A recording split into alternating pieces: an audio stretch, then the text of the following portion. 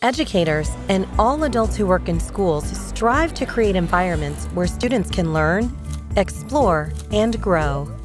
But factors outside the classroom can impact students at school and later in life.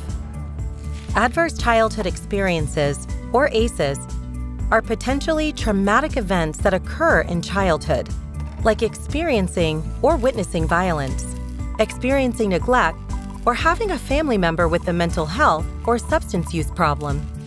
ACEs are common and many people experience more than one. It is important for educators and school professionals to understand ACEs because they can cause serious academic, social, and behavioral problems, and may keep children from completing or receiving the full benefits of their education. CDC's training on preventing adverse childhood experiences can help school professionals create positive relationships and environments for children, which can prevent ACEs from happening and can lessen harmful effects when students have already experienced ACEs.